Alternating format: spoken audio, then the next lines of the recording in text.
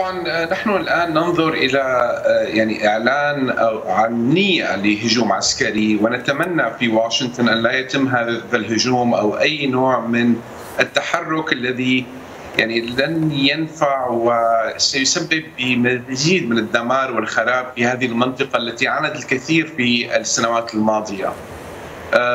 طبعا أيضا في واشنطن نحن نركز اليوم على النمو والازدهار والسلام في هذه المنطقة كما نعرف يعني منذ فترة قريبة تم رفع المنطقة منطقة شمال شرق سوريا عن قانون قيصر لأن الولايات المتحدة تستثمر اليوم جهدها ووقتها ومالها في رخاء هذه المنطقة. فأي تحرك تركي سيكون ضد المصلحة الأمريكية الواضحة.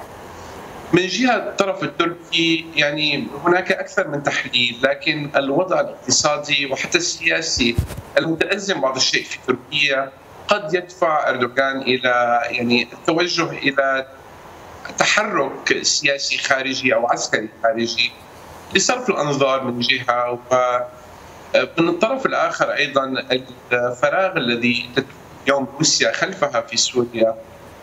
طبعا يعني قد تساهم كثيرا في تحرك وتغير على الخارطة الجغرافية والسياسية. صحيح. يعني برأيك كيف ستكون ردة فعل روسيا وواشنطن الدول الضامنة لوقف إطلاق النار لهذه التهديدات التركية لمناطق شمال وشرق سوريا يعني ألا يشكل ذلك انتهاكا واضحا للأعراف الدولية أو المواثيق؟ طبعا كما قلت يعني ليست من مصلحة أحد أن يكون هناك أي تحرك عسكري أي تحرك يعني أي شيء يزعزع الأمن في هذه المنطقة. هذه من جهة. من جهة ثانية يعني هناك تخوف كبير جدا من الحديث عن نقل لاجئين سوريين إلى هذه المنطقة وفرض تغيير ديموغرافي على هذه المنطقة عبر هذا يعني وضع مليون لاجئ سوري يتحدث عنهم الطرف التركي اليوم في شمال شرق سوريا في هذا الشريط الحدودي أعتقد 30 كيلومتر أو 20 ميل. يعني هذه التصرفات ليست كما قلت سيدتي ليست ضمن الأعراف الدولية.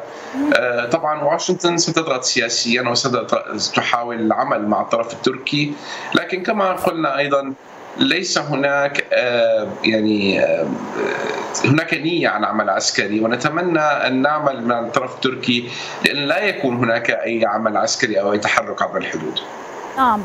برأيك هل ستتخذ واشنطن مقاربة بين موقفها من الحرب الأوكرانية والتهديد التركي لمناطق شمال سوريا أم أنها ستتخذ موقفا مغايرا؟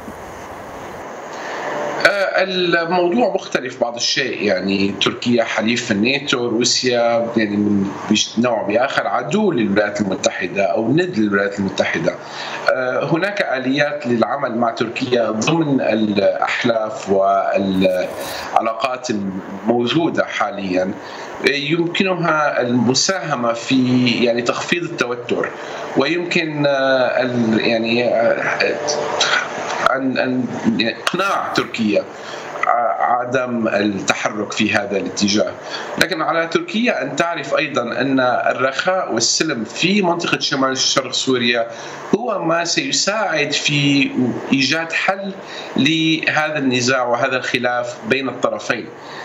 العمليات العسكرية والاختراقات الحدودية فقط تؤجج هذا الصراع لا لا تنهيه فعلى الطرف التركي أن يكون متعقلا أيضا ويعرف أن يعني العمل السياسي والعمل الدبلوماسي قد يؤتي أكله أكثر بكثير من تحرك عسكري سي يعني يثير غضب ليس فقط الطرف يعني السكان وقيادات شمال شرق سوريا لكن أيضا أوروبا والولايات المتحدة الأمريكية.